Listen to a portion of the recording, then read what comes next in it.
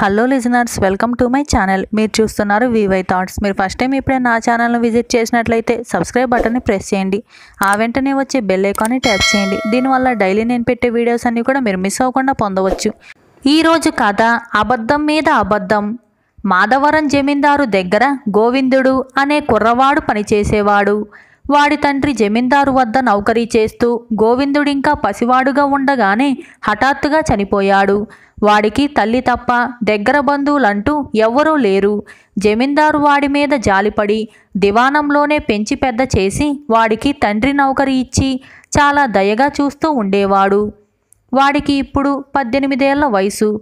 ఒకసారి జమీందారు గోవిందుడికి ఒక పని అప్పగించాడు. ఆయన కుమార్తెకు రాబోయే పౌర్ణమి నాడు పక్క ఊరి జమీందారు కొడుకుతో నిశ్చితార్థం జరపవలసిందిగా నిశ్చయించారు. అయితే కారణాంతరాల వల్ల ఆ ముహూర్తం విధియనాటికి వాయిదా పడింది. ఆ విషయం కాబోయే వియ్యంకుడికి చెప్పి రమ్మని జమీందారు గోవిందుడికి చెప్పి బస్తీలో ఏదో పని ఉండి వెళ్ళాడు. గోవిందుడు పక్క ఊరుకు ప్రయాణమవుతూ ఉండగా ముందు దివాను తరువాత రాణివాసంలోని వాళ్ళు రకరకాల పనులు చెప్పారు. దానితో వాడికి సూర్యాస్తమయం ఇంకొక గంటలో ఉన్నదనగా తీరుబాటు చిక్కింది. వాడు పెళ్ళి కొడుకు వాళ్ళ ఊరుపోయి సంగతి చెప్పి దారి డొంక సరిగ్గా లేని అక్కడి నుంచి చీకట్లో తిరిగి రావటం సాధ్యపడే పని కాదు. కానీ యజమాని చెప్పింది ముఖ్యమైన పని కనుక వెళ్ళక తప్పదు. గోవిందుడు ఏమి చెయ్యటమా అని ఆలోచిస్తూ ఉన్నంతలో ముసలి నౌకరు ఒకడు సంగతంతా తెలుసుకొని పురుగు పుట్ర చీకటి ప్రయాణం ఎందుకు పెట్టుకుంటావు? నిశ్చితార్థానికి ఇంకా నాలుగు రోజులు గడువు ఉంది. రేపు ఒంట్లో బాగోలేదని సెలవు తీసుకొని ఆ ఊరు వెళ్ళిరా. బస్తీ నుంచి తిరిగి వచ్చి రాత్రికి బాబుగారు అడిగితే కబురు అందజేశానని చెప్పు సరిపోతుంది అని సలహా ఇచ్చాడు. ఆ సలహా గోవిందుడికి బాగా నచ్చింది. రాత్రి జమీందారు బస్తీ నుంచి వస్తూనే గోవిందుణ్ణి వార్త అందజేశావా? అని అడిగాడు.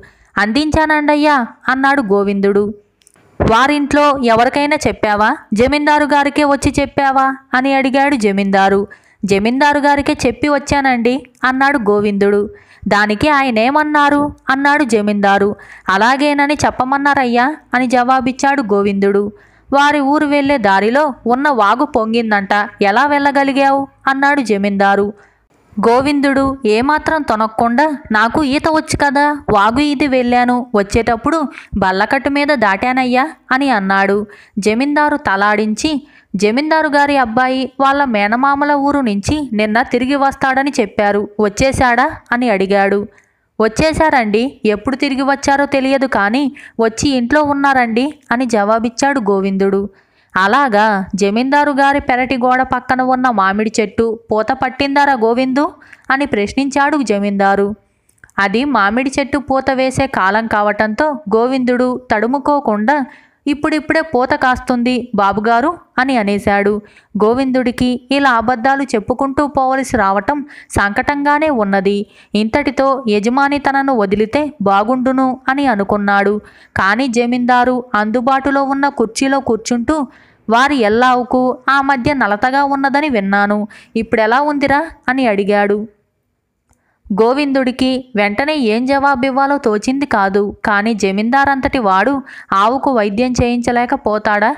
అది బతకపోతుందా? అన్న ధైర్యంతో వాడు ఇప్పుడు రోగం కుదిరి బావున్నదయ్యా? అని జవాబిచ్చాడు. ఆ జవాబుతో జమీందారు చిన్నగా నవ్వి ఇంతకు భోజనం చేశావట్రా గోవిందు అని అన్నాడు. వాడికి ఆ సమయంలో బాగా ఆకలిగా ఉన్నది.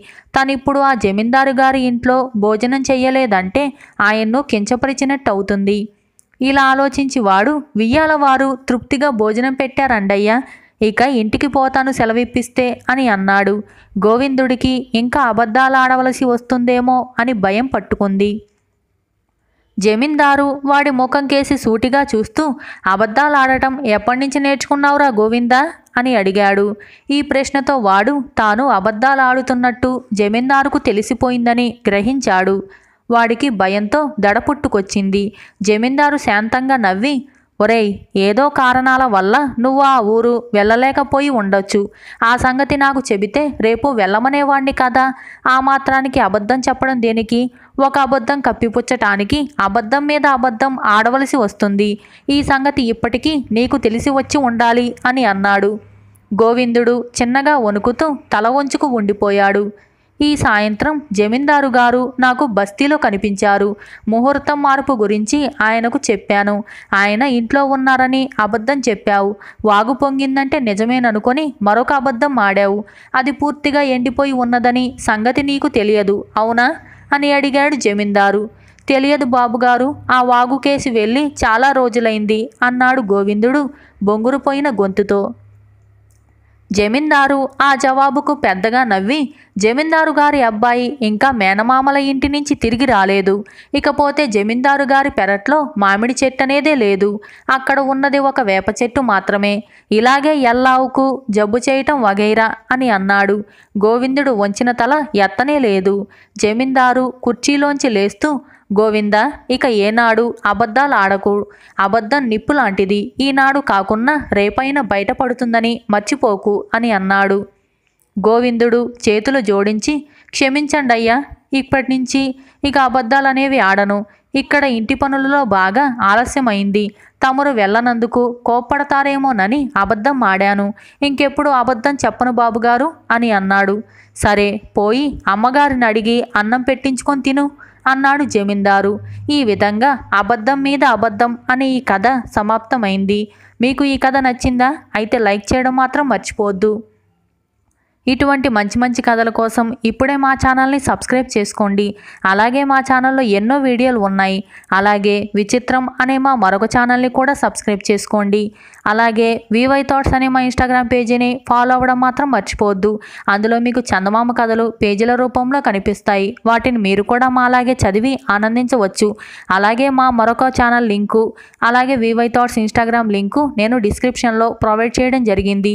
మీకు ఒకవేళ ఇంట్రెస్ట్ ఉన్నట్లయితే ఆ రెండింటి లింక్స్ మీద ప్రెస్ చేసి మా ఛానల్ని సబ్స్క్రైబ్ చేసుకోండి. వివై థాట్స్ ఇన్స్టాగ్రామ్ పేజీని ఫాలో అవ్వడం మాత్రం అస్సలు మర్చిపోవద్దు.